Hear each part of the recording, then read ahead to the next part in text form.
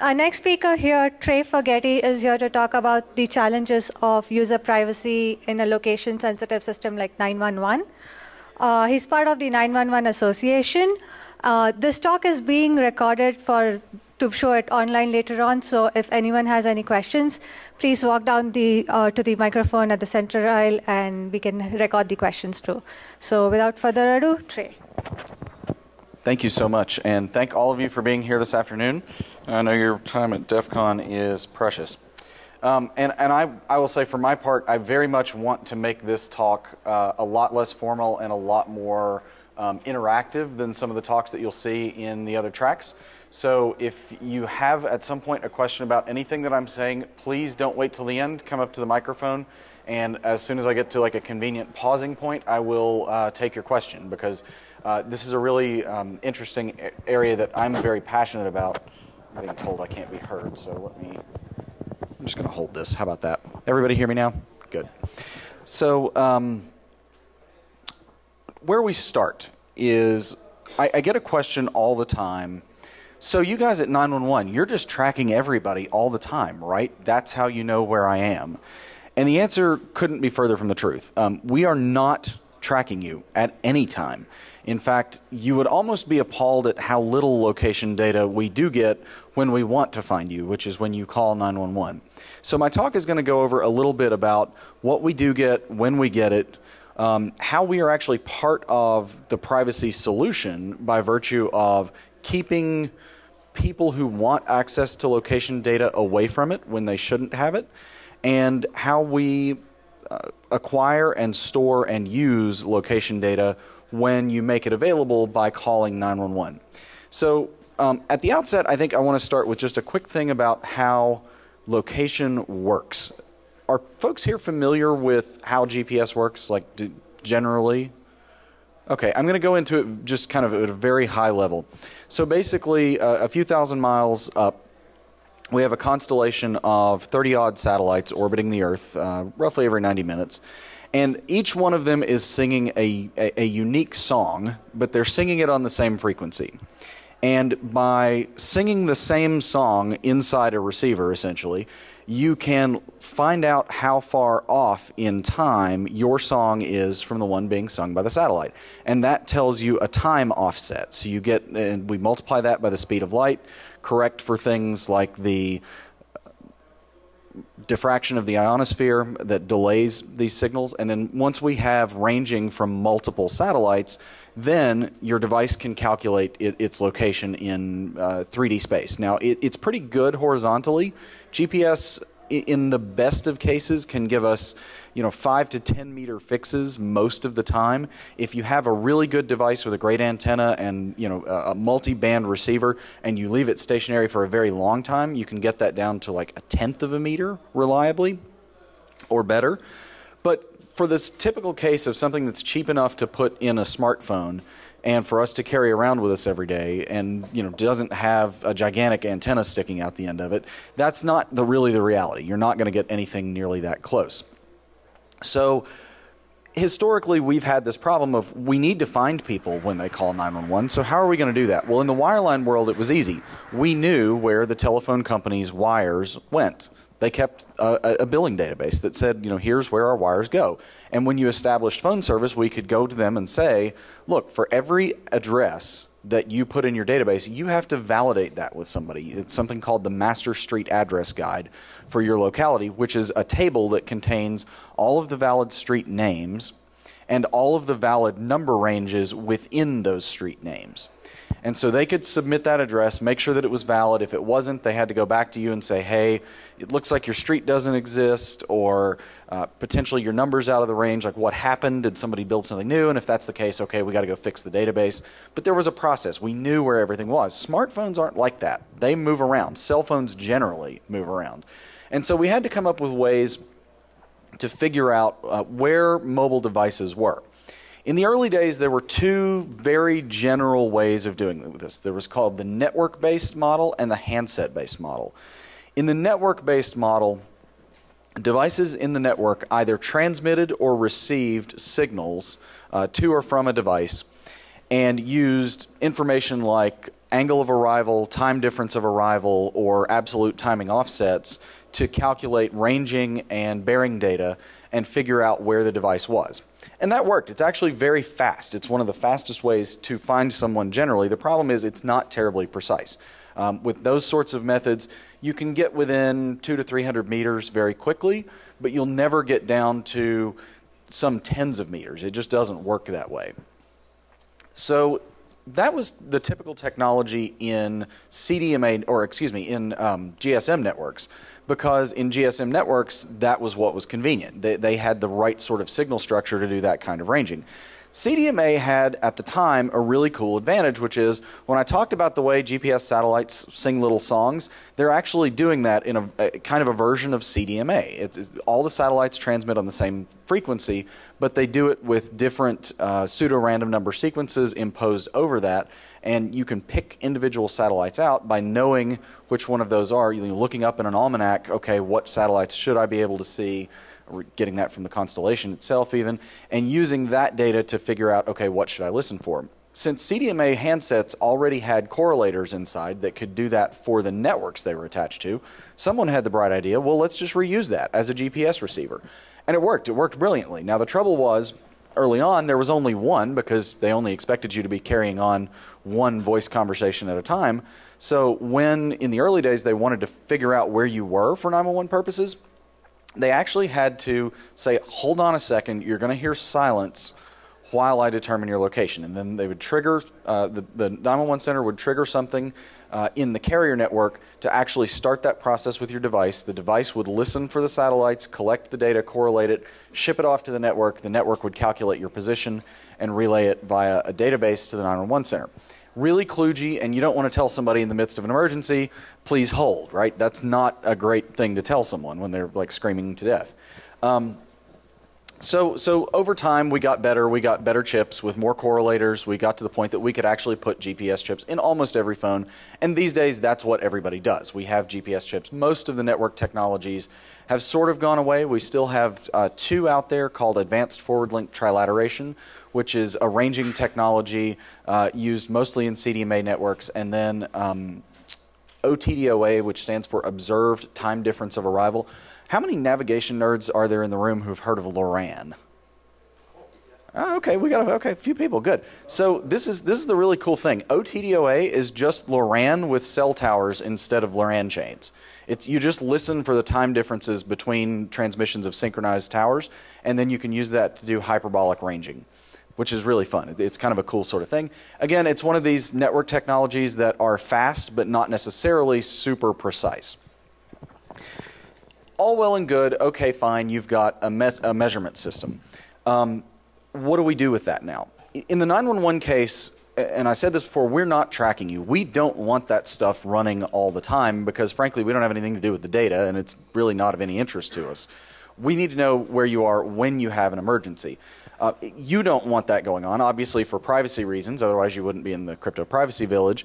And you also don't want it going on because it's a very battery intensive activity to keep track of yourself precisely all the time. In fact, most of the things that you see, you know, this question, why is it that Uber can find me but 911 can't, that we hear so often, I really hate this question because, like, most of the time, Uber is not. Uber doesn't hasn't measured where you are to any degree of certainty they have software in your plat in your device platform and in their uh, platform that's making a very educated guess. People tend to focus on the little blue dot that tells you where the thing thinks you are. What they often don't realize is that there's also a blue circle around that. There's some uncertainty associated with that location fix. And often, in the case of uh, commercial apps on smartphones, that uncertainty is actually relatively large. It can be on the order of hundreds or even thousands of meters. Um, that's calculated at uh, about a 90% confidence level most of the time, uh, which we want. We want about a, only about a 10% margin that will find you outside the circle. But if you think about a place like Caesar's Palace, an uncertainty of 100 meters or 200 meters makes it really difficult to find someone. It makes it really difficult to go search for them. 200 meters might put me in any one of three different hotel towers the casino, the conference center, and a bunch of restaurants. So you really have to deal with constraining that uncertainty somehow uh, before you can use that for emergency response. Uber can make those you know guesses because it has that ability to then ask you, okay, where are you? In fact, does this match up? And if not, drag the map and you know pick the little dot. We don't have that luxury in 911. So I've said that we're not tracking you. Well, what are we doing? When you call 911, a few things happen. I, have talked about some of the different methods that we've used. Um, we're starting to add things from the handset now. Historically, only stuff that was baked into the baseband or the network was really available for 911.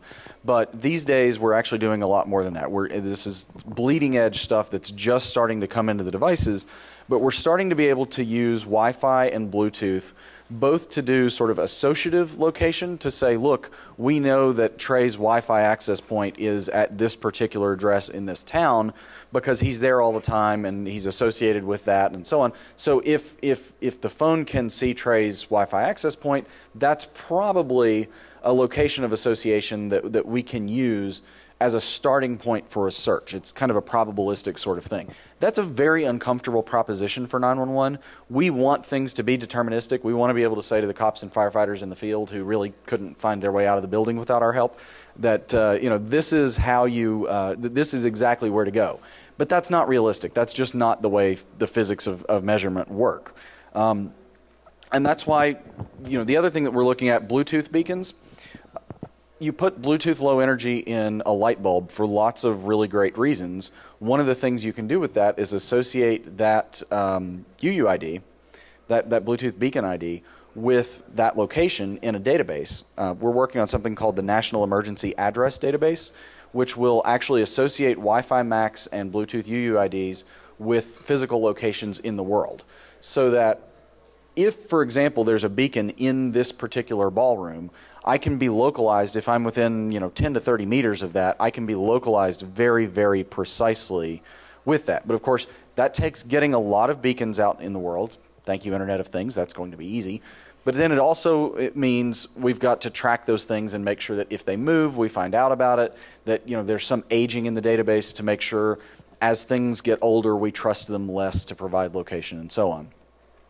So at call time, when you make a 911 call, a couple of things happen. First off, the your platform, your your phone platform, whether it's Android, iOS, BlackBerry, BlackBerry, whatever, completely overrides your location privacy settings. It says, "Look, you've made a 911 call. This is really important. Turn everything on. We need to find you." Uh, historically, that's only meant like the GPS chip, and you know not some of the other cool things that you have in there, like the accelerometers, gyroscopes, magnetometers, barometers, Wi-Fi, Bluetooth, etc. But we're working to change that. We're actually working to get to the point where we can ingest data from all of those different things to create something called device-based hybrid. And this is where we, we you know use those use, use things opportunistically where they make sense. So GNSS, GPS, Galileo, GLONASS, Compass Baidu, all of those things work phenomenally well outdoors in urban and suburban environments, and even to some extent in sort of urban clusters. Not necessarily in Manhattan and San Francisco and downtown Atlanta and Chicago. In those places, GPS is really, really awful. But Wi Fi and Bluetooth things have much higher densities in those environments, and consequently, they are of more use. And so, this is the concept behind device based hybrid is we're going to opportunistically use what is best in the environment that it's in. So, if you're in Manhattan and the best thing we have to like figure out where you are is Wi Fi and Bluetooth, we'll use that. And if not, if you're out someplace where GPS is working great, we'll use that. All of this is just just sort of starting to happen we've had uh, one company called Rapid SOS uh, that built some really cool stuff to kind of get location data around the database limitations of the legacy 911 network. And in doing that, they've kind of proven out that you can you can get a lot more calls clustered down in that uh, you know zero to 20 meter range with device-based hybrid. And, and I don't mean to like endorse Rapid or, or, or, something like that. There are tons of folks working on this. Uh, Google just announced uh, a few months back that they're going to be doing a lot more uh, in their fused location provider for emergency services purposes over the next three or four years. Um, including, and this I thought this was really cool. They're putting dual frequency GPS receivers in their devices, which allows you to directly measure and cancel the ionospheric diffraction uh, delay and that is the primary source of error in a GPS fix. So in three to four years, your handset GPS locations, indoors and out, are going to be phenomenally better. They, they really will just get meaningfully better. We're also seeing barometers go into devices, which is really cool. These allow us to implicitly pull out a vertical location. If you have, oop, I've gone dead. If you happen to have think so.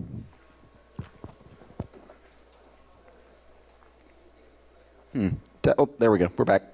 Um, if you happen to have uh, a barometer and you have a good external reference for what sea level pressure is, you can use those measurements, you can compare them and say, okay, I must be this much up or down from that reference datum. Now, in order to do this, you've got to have measurements that are fairly localized.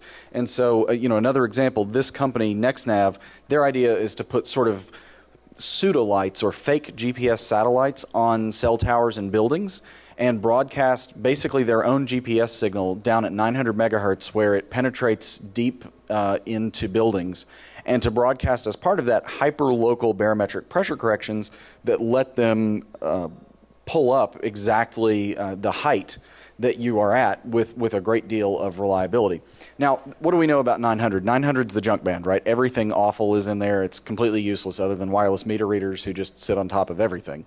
Except that the one thing that is actually privileged in 900 megahertz is multilateration and location monitoring services, and there are licenses, and these guys happen to have a lot of them. Um, there are other folks who have them for other markets, but this is like a cool thing that you can do in the 900 megahertz band, and you, get you actually get interference protection uh, if you do this. So cool. No, another cool thing, when you make that 911 call, all of this stuff kicks on and starts saying, "Okay, now where are you?"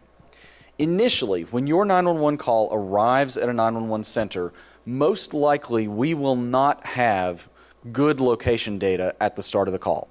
What typically happens, and this is something called phase one and phase two. Phase one location is what we get at the beginning of basically every wireless call, and it just tells us the ad street address of the cell tower that you're attached to, and it's the GPS coordinates of the tower. Again, this is not you, this is the tower.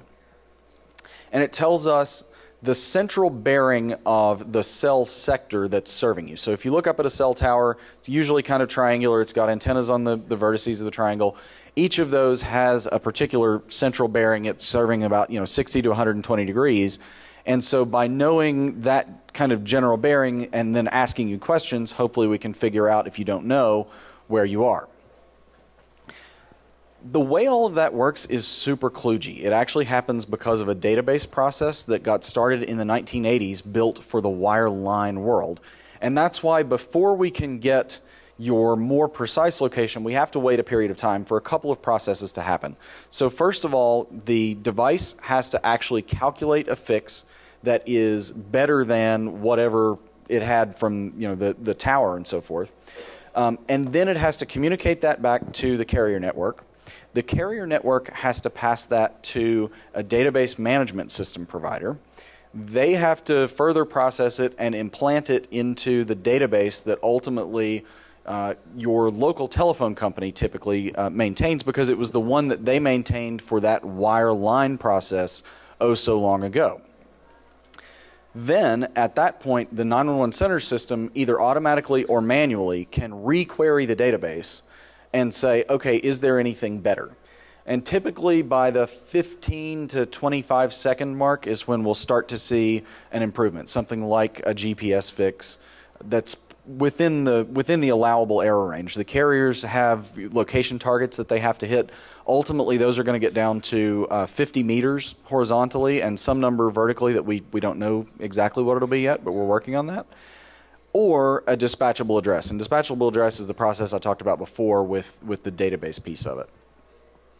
Now, the one sort of worrisome part about this is those values, those location values, we know they're very sensitive. Those are actually transmitted in the clear.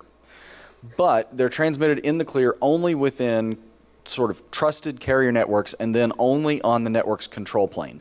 So the location information never touches the user data plane until it actually gets down to the 911 center and it is received at the start or you know some number of seconds into your call. And then at that point, uh, we kind of we, we look at this as like a hot potato. We'll you we'll keep that, store it as long as we have to, to provide you with service, and to keep the sort of records that 911 centers are legally obliged to keep uh, for whether it's for investigatory purposes or just because the legislature said we want everything to be kept for 90 days or 120 days. Some things may get archived if they look like they're going to be important down the line, but not necessarily everything. I mean, it, we, we typically want to get rid of non critical 911 data that's not subject to a litigation hold as, as quickly as possible. We really just want to get that out of the system. This is where it gets a little interesting because obviously, being in public safety, 911 is part of a lot of law enforcement responses. A lot of law enforcement responses start as a result of a 911 call. In fact, almost all of them do. And 911 is known for having location data. People in the law enforcement and fire and EMS communities know that when you call 911, we get your location data. And so people not unreasonably often make the assumption that, well, if I need that for some other purpose, the way I should be able to get that is by just going to my friendly neighborhood 911 outfit and saying, hey, help me out with some of that uh, good, good location data, right? And we get those requests all the time. Our members actually get uh, location data requests from law enforcement and fire and EMS often when there's no actual 911 call going. So I said earlier, 911 really is on the front line of protecting user privacy because often the thing we have to do is tell sometimes even the boss no because we get 911 data for a purpose. We use it for a purpose. And that's part of user trust in the 911 system is that we're not going to misuse that 911 location data. The other reason that these things happen from time to time is we also have access to a process for exigent circumstances. So if you've ever seen the movie the call with Halle Berry. I, so small aside, I got to meet Halle Berry. She is amazing in person. She is even more beautiful and like even more friendly and awesome and wonderful. And she really like took a lot of time and effort to get in the trenches with real 911 call takers and learn how they do what they do, which was really awesome and cool. Hopefully there will be a sequel. But in that movie, there was this uh, occasion where a, a, a young woman was kidnapped and thrown in a trunk and she made a very she was only able to make like a quick discreet 911 call to say you know help i'm, I'm in the trunk right? When that happens we've got to have some prox, some process to get some location data when you're not on a 911 call. Now the challenge for us is as i talked about before all of the location privacy settings and all of those sensors and, and measurement systems are not on unless you're in a 911 call. So the moment you hang up we lose the ability to, to query for updated location information. And at that point, the best we can do, and I realize this sounds insane in 2017, is fax, yes, fax, a form to the carrier that was serving that 911 call to say, we need the best location data you've got for this particular phone number. The turnaround time for that can be 15 to 45 minutes they generally they do take it very seriously. They try to get the uh, exigent circumstances requests processed as quickly as possible, but it is it is still a process. Like it, it's not an automated kind of thing. It is a very manual process. And then what happens once the carriers, lawyers, and engineers have looked at the form and said, okay, yes, this is a valid exigent circumstances request, there really is an ongoing emergency with a threat to life or property, then then and only then can they start to do a little bit to help us. But again, you're not in a 911 call, they can't turn on all the sensors. Typically, the best we can do is we fall back to uh, that sort of phase one information. We can typically get, okay, what tower and sector is serving the device? So we get, you know, kind of a point and a bearing. And if we're really, really lucky, in some cases, they will also be able to give us a range estimate. So I talked before about you know GPS and the way the ranges kind of cross over and you can get a location out of that. Another way you can develop a location fix is with a bearing and a range. So that's a, a line and an arc and wherever they cross, that's sort of generally where you are because again our measurements are kind of fuzzy. That arc can be really wide, that line can be really thick. You get kind of an annular sector. But hey, that's still useful data. But again, it's not data that we're getting easily. It's something that's very, very protected. Um, and in the 911 case, when we do get that, again, that's a manual process. So there's no database to put that in. That's actually something that's done on a, you know, we're on the phone with AT&T, Verizon, Sprint, T-Mobile, somebody saying, okay, where are they now? Okay, has the location changed? Where are they now? And it's this very sort of iterative manual thing and eventually hopefully you can work out okay it's a car that's going down you know i-40 or something like that and say let's go try to intercept whatever that is and, and, and find somebody. And then of course immediately after that exigent circumstance passes that location data that was used for that purpose basically has to go away because it wasn't necessarily obtained with an investigative purpose for law enforcement purposes. So then you've got to start thinking about okay, do we get a subpoena? Do we get a warrant? How do we actually acquire that location data in a way that can be used for some uh, criminal prosecute, prosecutorial purpose that's not you know related to an immediate emergency response? So, so that's kind of the, the multiple phasic approach that you have within the 911 center. We have the sort of baseline case um, I, I, weirdly, I often hear people say 112, which is the European emergency number, is is really part of the global emergency calling standard, and you should use that. And in a lot of places, using 112 might actually get you to a 911 center. Like it, it might. It won't always, but it might. And if it does, the challenge though is it won't turn on usually any of that cool location stuff. So don't dial 112 unless you're in Europe once that location process is over with, there is sort of a residual question of what do we do with the data? And, and I don't think we have a good answer right now because the, your average 911 center is not technically sophisticated enough to be uh, encrypting or hashing or, or, doing things like that with those sorts of data. They kind of have to rely on whatever their system vendor makes available. And oftentimes that doesn't include robust uh, confidentiality and integrity mechanisms. But that is something we're working on. So the next piece of this that I want to talk about is how we will acquire and use location information in a next generation 911 environment. And basically, the process still stays heavily dependent on what the device and the network knows. But now, instead of dealing with legacy wireline databases from the late 70s, early 80s, we're going to take this into a more IP based realm. So, in next generation 911, when you dial 911 from a phone, whether that's a voice call to 911 or a video call or even a text session, we're going to have real time text very soon or, or total conversation. If you have you know different accessibility needs, you'll have the ability to communicate in all of those different ways simultaneously, which is really awesome if you have a hearing or speech disability. Um, at that point, you've got a couple of things that have to happen. First, the device needs to figure out what 911 system its call should go to. So it's going to query something in the access network providers network. And, and here I want to stop and, and define a couple of terms because historically, when you bought phone service from the phone company, you were really buying two, two very different things, but it looked like the same thing because it was all you knew.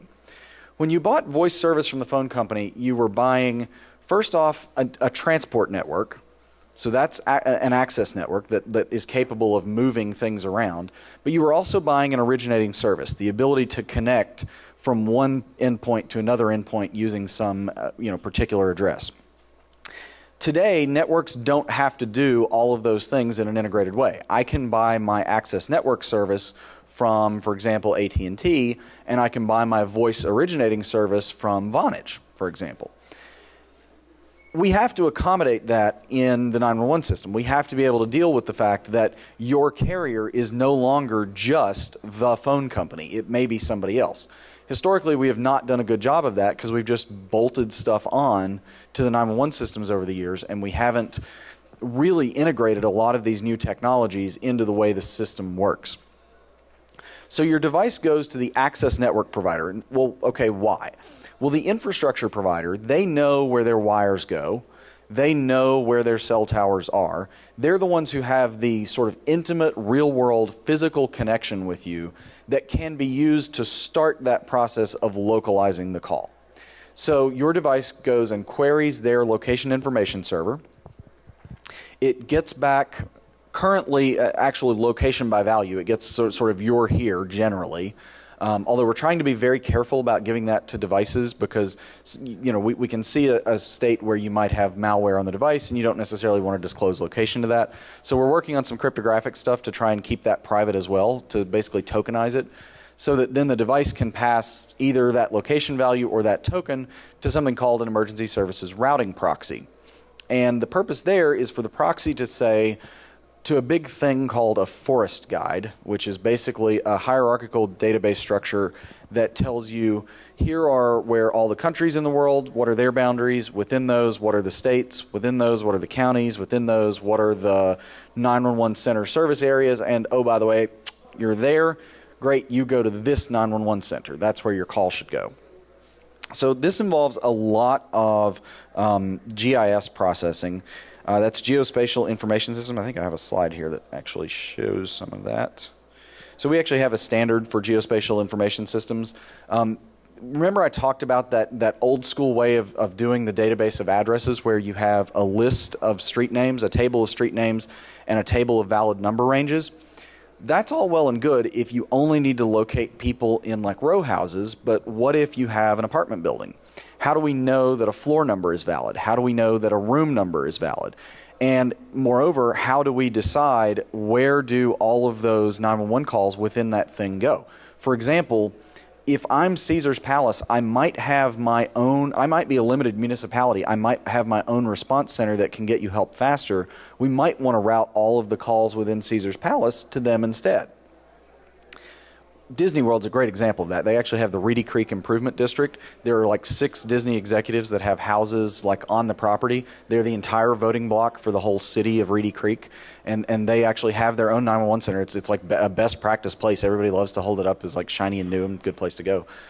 But uh, you you have to be able to track those things so that you can do change management, so that you can know when somebody puts up a new building. How do we add that to our addressing system?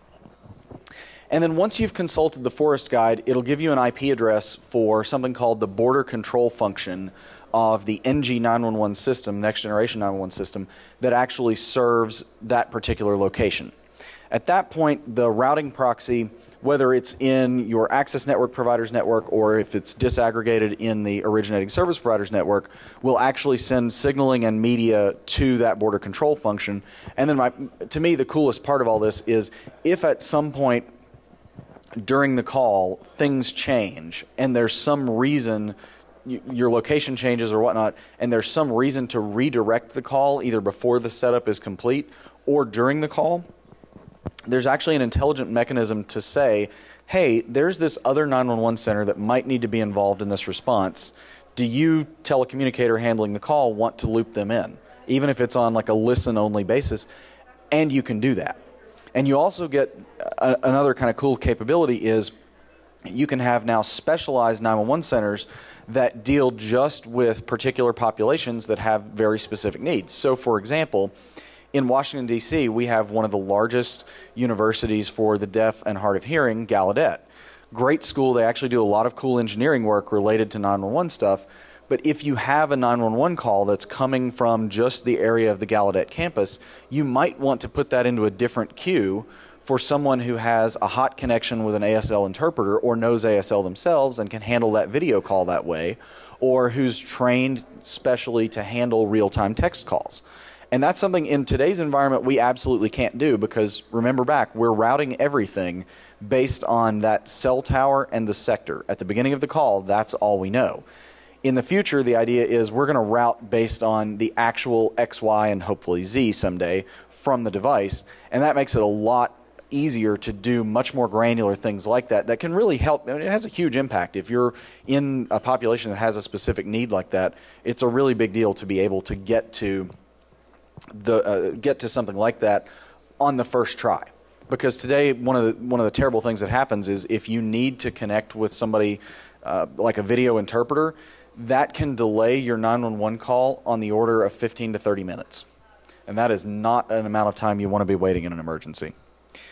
Um, I've used about 40 minutes here. I haven't had anybody volunteer questions, so I just want to level set. Are there things that I, I've covered in insufficient depth or not covered, or other things you want to hear about? so that I can kind of tune the, the rest of the talk. Yep. Eventually, you said that the, uh, the location data was transmitted into the clear. Is that like from the local device to the base station, or is that afterwards whenever it's going through the actual IP switch uh, stuff? Oh, it's funny. You think there's IP switching involved in this? That's that's very quaint.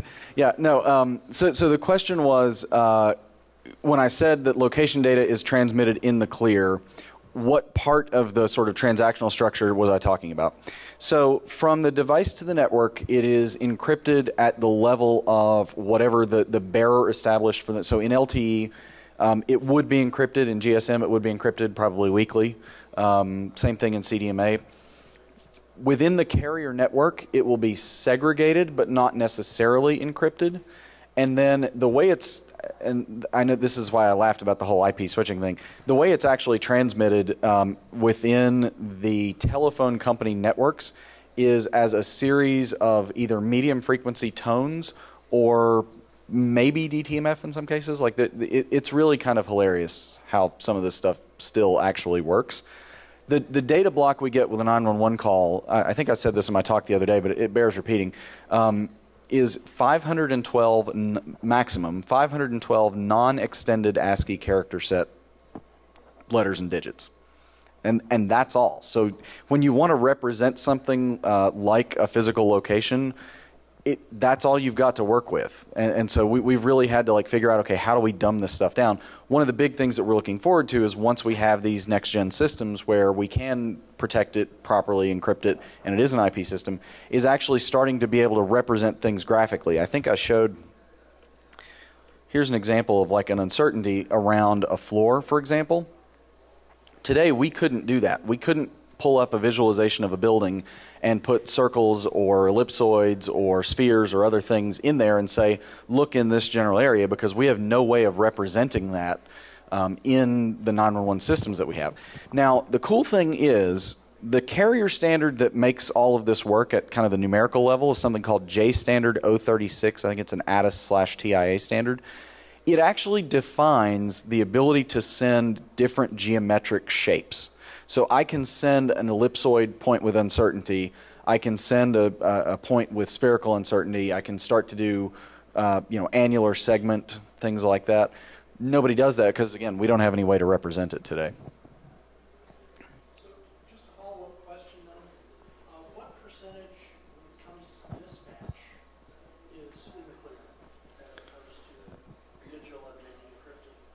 So the question was, what percentage, when it comes to dispatch, is sent in the clear versus uh, encrypted or perhaps digital? I assume you mean.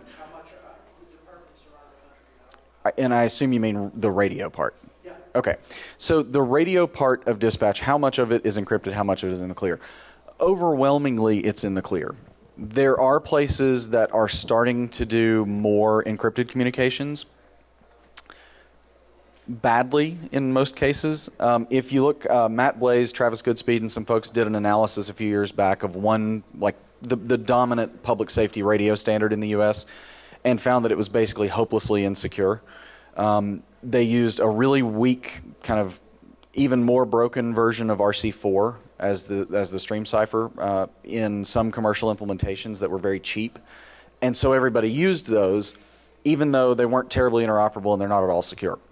So we're in the process of trying to fix that. Earlier this year, the Department of Homeland Security and NIST worked together to get a, a, requirement into the standard so that I think starting in 2018 going forward, all radios built to that standard will now have to have AES 256 as a mandatory uh, part of their cipher suite. They can still have broken versions of RC4, but AES 256 has to be in there as well. And part of the reason for that is in the public safety community, interoperability is a huge deal. Disasters may start local, but they usually don't stay local. And when they go beyond the, you know, disasters don't obey jurisdictional lines no, no, matter how much we admonish them. And so eventually you've got to have help from your neighbor. And when that happens, being able to talk with them is a big deal. The other thing, I, I appreciate that question about encryption. The other thing that I want to raise a serious point about, though, is um, authentication and integrity checking. Because even though we are fixing the encryption problem, sort of. We're getting to a standard. We are still not doing anything about protecting networks from uh, radio networks from n- bad devices, so devices that aren't that don't belong there. So most of the radio networks uh, today, if you know like an eight-digit code that is really easy to pull off the air, you, you can get a radio attached to that network and start receiving traffic from it. Um, it's not authenticated in any way. And then there are also vulnerabilities to replay attacks uh, in these networks, so you, you don't have uh, good integrity mechanisms either. So we, we know that's a problem. It's something we're working on. The, the trouble is these are tens of million dollar networks that turn over once every 15 to 20 years.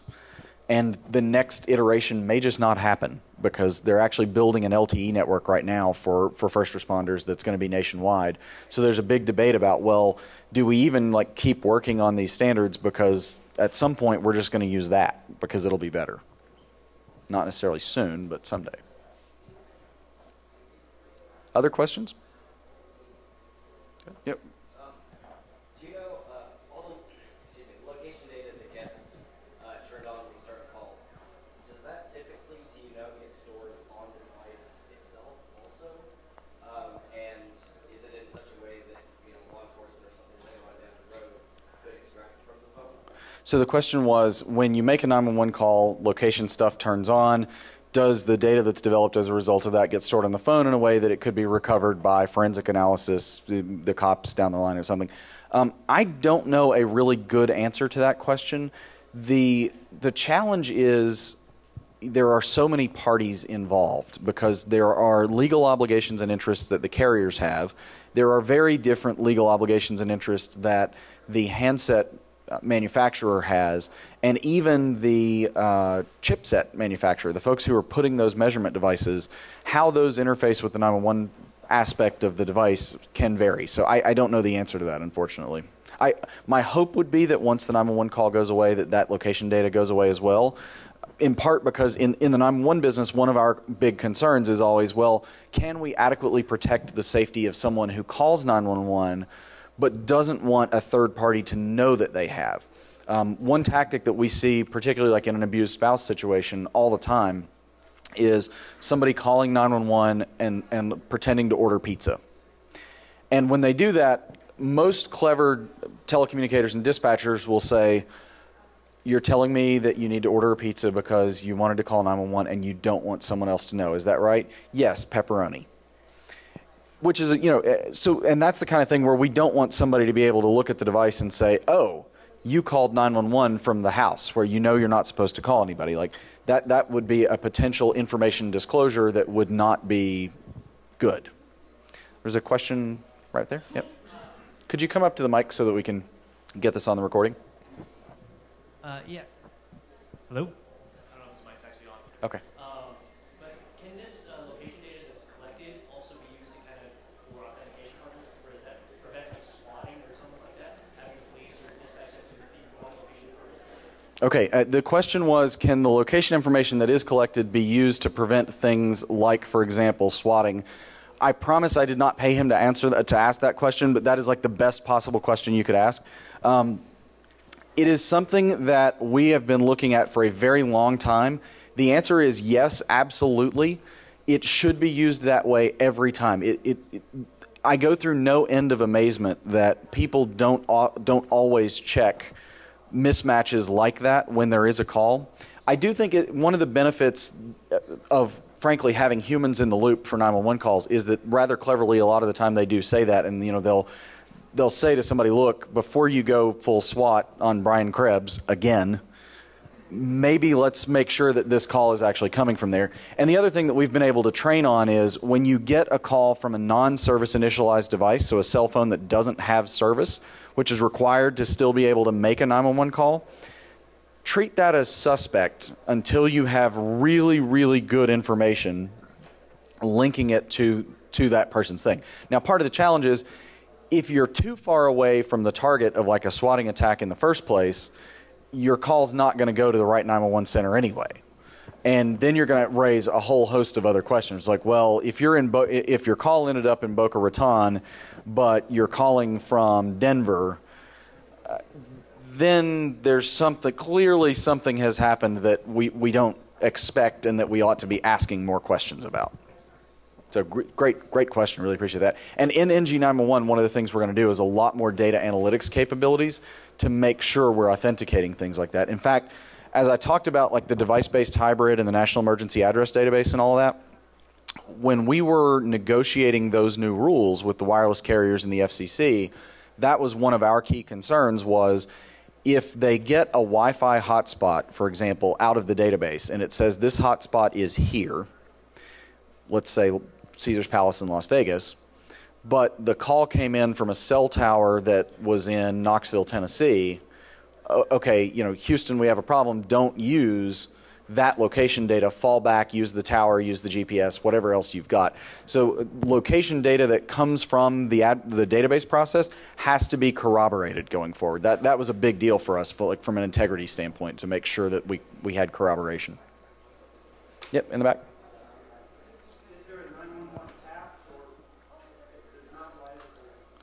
The question was, is there a 911 app? Let me be really clear. No, there is not a 911 app if I could get Apple and Google to do one thing, it would be to just grep the entire App Store, the entire Play Store, and delete anything that involves the words 911.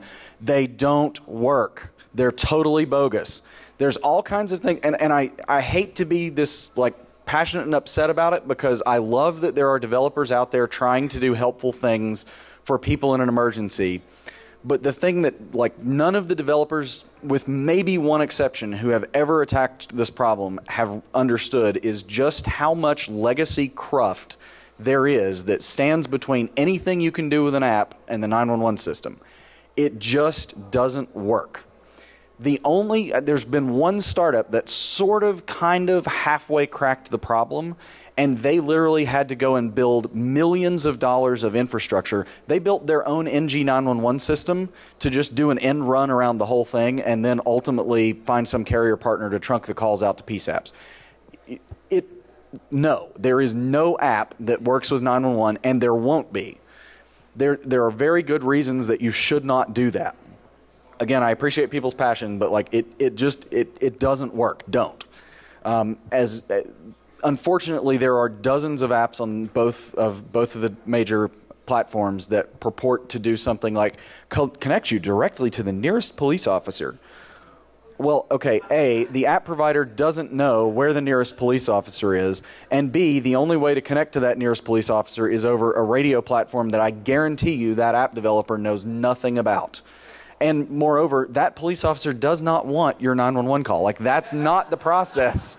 You know, they've got other stuff going on. You know, for the third of 911 calls that are like cat up a tree or McDonald's got my order wrong or, or you know, whatever the thing was that went wrong, the nearest cop, the nearest firefighter doesn't want that. We have these things centralized for a very good reason. The people that take these calls are an important part of the process, and you can't circumvent that. So, sorry to be passionate about it, but yeah, no, no app and won't be. Down front. Just along those same lines, um, said it's a large legacy system.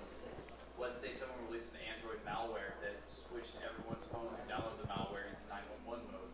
Would the system be able to handle that kind of like extreme ramped up traffic if it all came at the same time? Clearly, you missed my talk yesterday. So that actually happened. It was uh, so the question was uh, if we have all this legacy stuff that's very susceptible and you know minimum traffic carrying capacity, what if somebody uh, has some malware that gets on a major platform and then starts calling 911 repeatedly? Uh, what I will do is point you to the DEF CON media server because once once that talk goes up, you can get uh, 45 minutes of a great answer to that question. Yeah, in the back.